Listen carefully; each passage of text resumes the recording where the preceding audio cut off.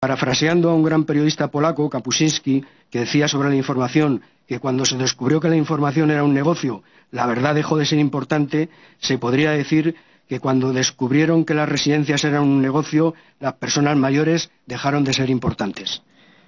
Han desembarcado en el negocio de las residencias fondos de inversión, que es el eufemismo con el que se designa a los fondos buitres.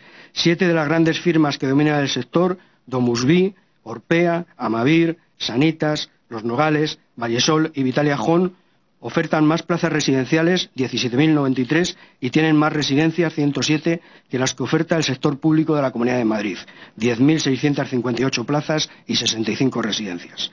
Salvo los Nogales, todas las demás son fondos de inversión.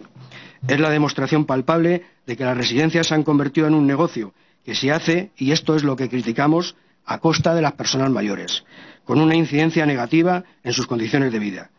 Hay deficiencias en la alimentación y la nutrición.